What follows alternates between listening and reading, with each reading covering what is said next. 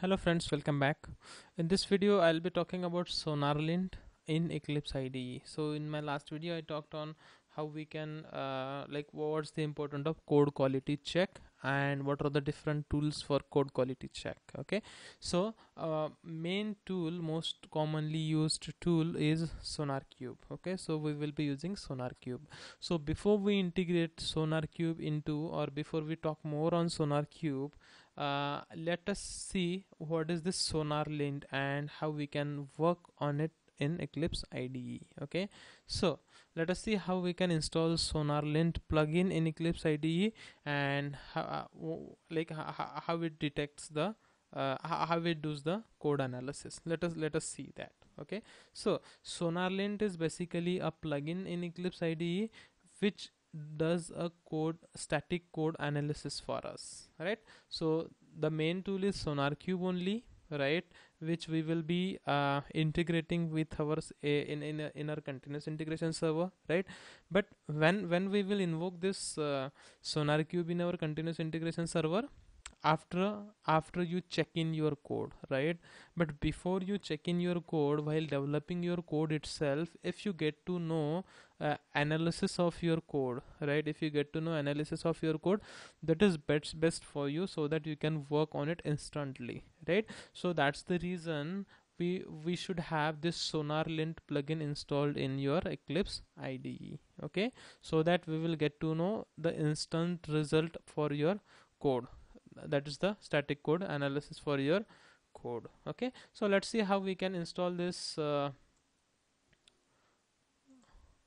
sonarlint okay? So uh, to install this sonarlint in your eclipse ide go to help go to eclipse marketplace and here search for sonarlint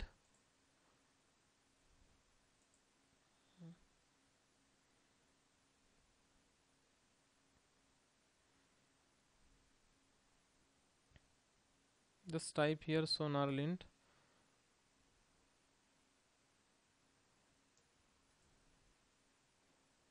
I'll just search with sonar. I should get something. Yes I got sonarlint okay? So I'm just going to install it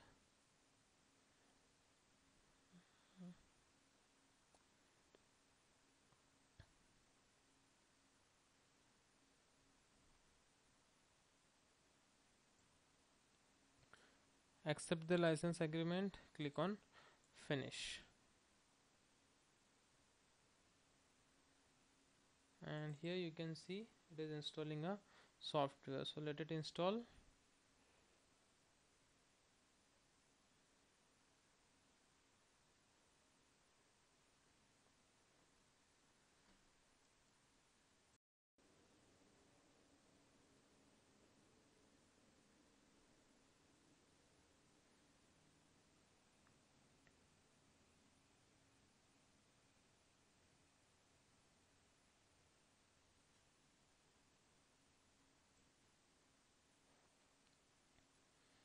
okay you can see my installation is completed and it is asking me to restart the eclipse okay?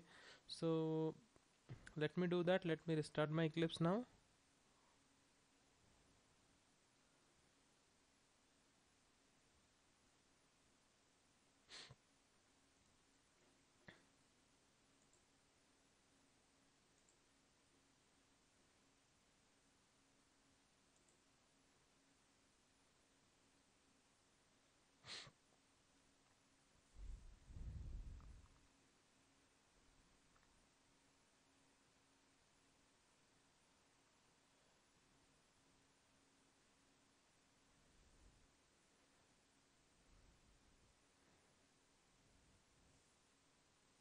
now once this sonarlint is installed in the console itself you will find all the code analysis okay?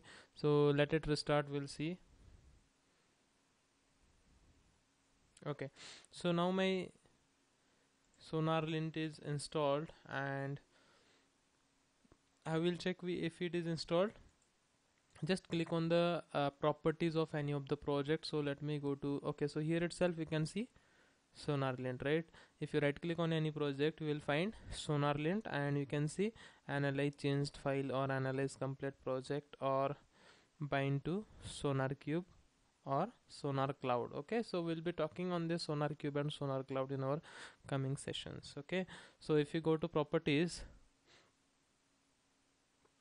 here you will find something called as sonarlint okay? And here you have the option to run sonarlint automatically. Okay so by default it is checked and better uh, to keep it as checked so that it will uh, run the sonarlint automatically as and when you type or do update in any classes or create new code. Okay so i'll keep it as it is and click on apply whatever because i didn't change anything. Fine. Now let me open something. Let me open one of my file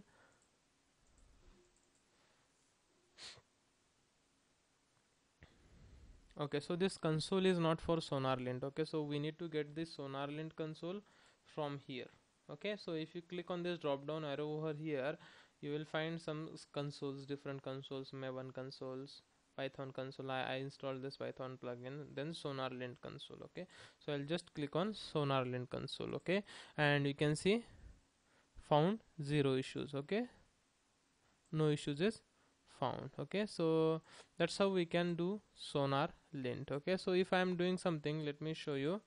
Uh, okay so it is showing found zero issues see i'm i'm doing right click on the project okay? Or even what you can do is if if you want to scan the class individually so you can right click on the class go to sonarlint and you have the option as analyze. Or even you you have the option to exclude okay? Like if you want to do uh, the analysis of complete project but not this class then you can mark it as exclude and perform for rest of the things right? So that that that's the again option you have. If i want to do for this class alone then we have the option right? So in the report you can see as soon as i do the scanning it will give me the sonarlint report. For for this specific i do not have any issues. So you can see zero item uh, and in the console you can see zero issues found zero issues right? So if you see any issues over here then you can fix that issue at the same time. At that moment itself you can fix uh, in order to avoid the uh, uh future uh, like to in, in order to waste your uh, in order to avoid your time waste right? Uh, if you find out later it will take time to fix. So that's the reason this sonarlint is better in your eclipse ide itself right? So this is this is from the let us say when when you are developing the code. But now you you will be integrating your code with uh, many other codes maybe right? So and now nowadays most of the organization have the requirement uh, have the requirement to have this sonarqube or any kind of code scanner into their continuous integration pipeline okay? So that's the thing we will be talking in our next video uh, next uh, couple of videos. How we uh, like what is sonar cube which is an web based uh, even uh, which is again you, you, can install it on your web server or even you can install it on your local or even they have something called as sonarcloud.io which which can be used for performing static code analysis right?